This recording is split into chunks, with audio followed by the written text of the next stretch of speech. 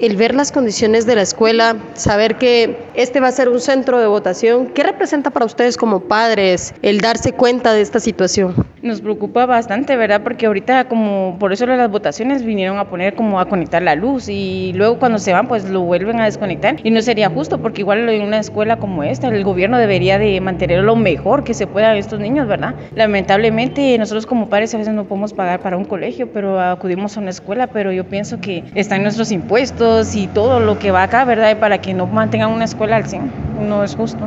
Estas son las condiciones de la escuela oficial urbana mixta Milagro 2 en la zona 6 de Misco. En este lugar se enfrentan diversas necesidades y es algo que viven día a día los niños. Sin embargo, este 25 de junio las puertas se abrirán para convertirse en un centro de votación, pero los padres aseguran que piden al Ministerio de Educación tomar más medidas, pues pese a ser usado por el Tribunal Supremo Electoral, los padres y el diverso de votantes que asistirán a este lugar podrán darse cuenta de las precariedades que enfrentan, dentro de ellos la primordial, falta de agua potable. No hay agua, e incluso cuando yo vine a una sesión de clases eh, yo vi que en los sanitarios no hay agua, estaba sucio, los niños entraban encima de eso, no hay luz, incluso los techos están eh, también como la entrada de agua, con el peligro de que pueda caer pedazos del cielo de lo de la terraza, ¿verdad? Entonces no hay ventiladores en las ventanas. y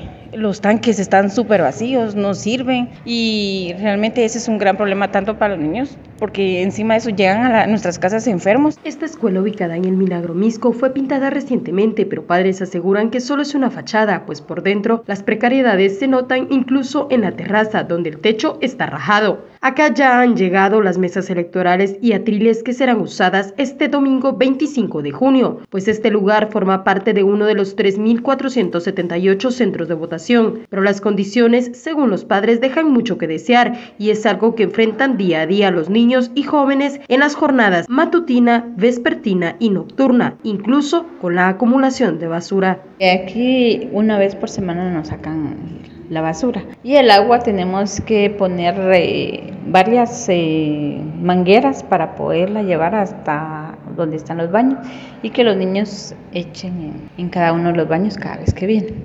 Eso es lo que vivimos en esto. ¿Cada cuánto tienen agua ustedes acá en la escuela? Supuestamente el pago es y todo de todos los días tendría que ser. Y sí cae agua todos los días, pero solo de 12 a 1 de la tarde. Si mucho se llenan dos toneles, que son los que ocupan las tardes, y a veces para la mañana no alcanza. Con imágenes de Carlos Hernández Ovalle, reportó Andrea Domínguez.